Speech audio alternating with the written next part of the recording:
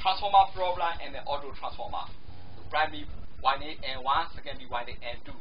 So the when you are using an auto transformer, in this case as auto transformer advantage and weakness are reduce the winding and go copper weight, but end will be going down. VA, end of the auto transformer for step down, equation the end of two winding transformer multiply with 1 minus 1 by k, k is equal to n1 by n2. Both end of the auto transformer step up this is the 4n VA of the 2 winding transformer multiply 1 minus 1 by k. k is equal to n1 by n2. So this problem we be it.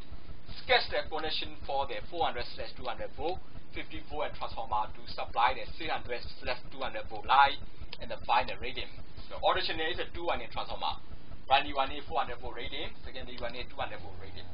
So to withstand the 300, you have to connect the 400 and 200 series for the primary. So this is 400, 200 CD for the primary winding. So voltage, voltage will be 300 volt. But secondary is 200 volt supplying. So the weekends are redraw the circuit, primary 300, secondary 200.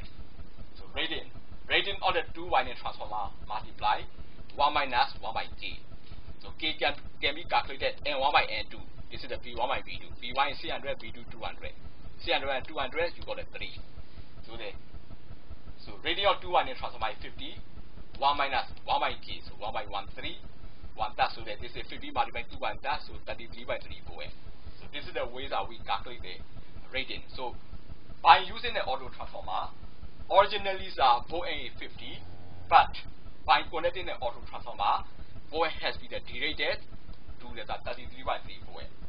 So based on this principle and theory, you have to do the topic 8 transformer problem plus auto transformer study the slide. 1 to 8, do the exercise. Question 54. Study the slide. 12, do the exercise. Question 56.